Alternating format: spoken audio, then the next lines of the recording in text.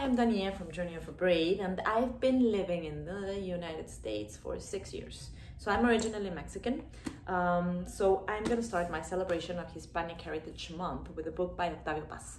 Octavio Paz is a Nobel Prize from Mexico. He won the Nobel Prize in 1990, and um, this is one of his most relevant books. It's uh, The Labyrinth of Solitude. So this book is really relevant, and I think it's very, very important um, to all to society overall because the way he writes is incredible, but especially for the Hispanic community that lives in the United States or that lives around the world and is trying to understand who they are and um, what they stand for. Because there's something very particular about being a Latin in this country, which is all about contrasts. You know, we come from from the mix between two continents. Uh, we're a mix between Europe and indigenous communities and indigenous groups, and um, which were often I mean, the, the conquest is, is this very complicated thing in Mexico because the conquest happened in a way because um, the Aztecs and Mayans, everyone had issues and they, they were confronted to each other. And so they saw in the, in, in the Spaniards the possibility to be stronger against their enemy, their enemy being the other indigenous groups. And because of this, they sort of destroyed all of them, including themselves.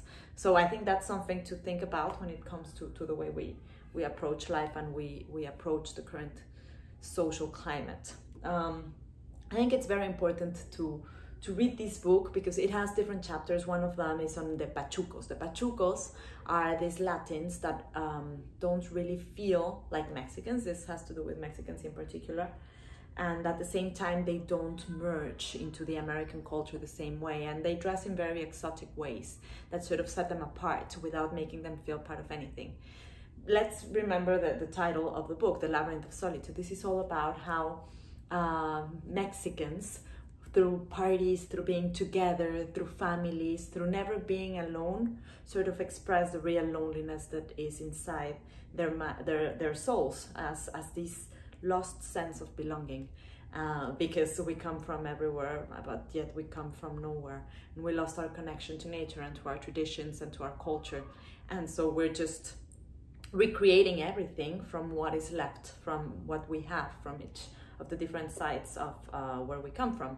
So it is a really interesting book. It has incredible quotes that is that are quite hard for me to translate because obviously I read it in Spanish but what I want to do through this video is, is just to, to, to create this, to, to give you this little seed that might sprout into, into getting to know better um, about maybe your Latin background. I don't, perhaps you're Hispanic uh, or Latin or Mexican, hopefully. I love Mexicans.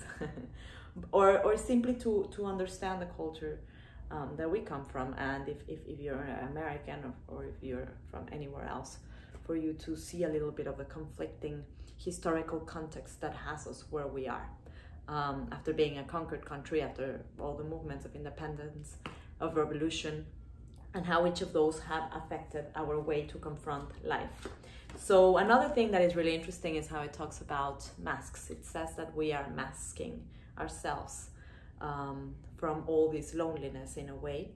And it also talks about death and the way we approach death as a celebration of life and how important it is for us to, to, to make peace, perhaps because we're terribly scared, or perhaps because, because we understand that's our ultimate fate, regardless of, of anything else. So it's very contrasting. One of the of, of the most beautiful contrasts that I find is when it says that Americans drink in order to forget, while Mexicans drink in order to remember. Um, we like to feel. I think we truly have a thing with emotions and deep, deep, deep emotions, um, while American culture doesn't necessarily feel the same way. So I think we're at such a tumultuous moment of social transformation that is really important to to understand the voices that come from other places.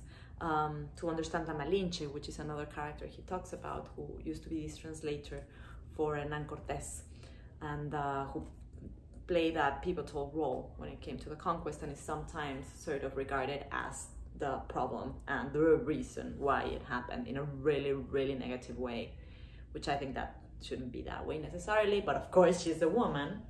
And uh, there's also that, uh, there's one reference that he says about women. He actually says that the reason why um, we are regarded as less than men is because of our anatomy. That basically, as we have the cut, this is talking about um, biology.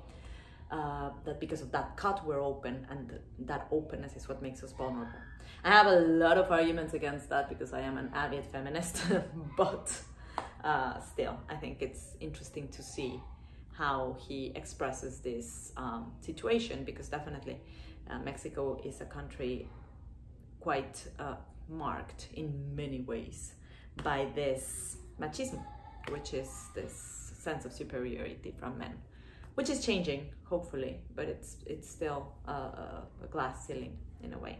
So thank you very much for joining me. I, I really really recommend you read this book the labyrinth of solitude by octavio paz. I'm danielle from journey of a braid and uh, this is a special series that i'm creating for hispanic heritage month where i will be talking about some of the most relevant latin american voices in literature